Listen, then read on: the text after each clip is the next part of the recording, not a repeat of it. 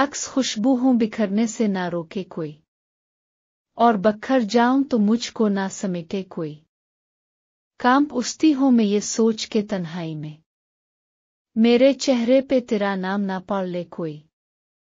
जिस तरह ख्वाब मेरे हो गए रेजा रेजा। इस तरह से ना कभी टूट के बिखरे कोई।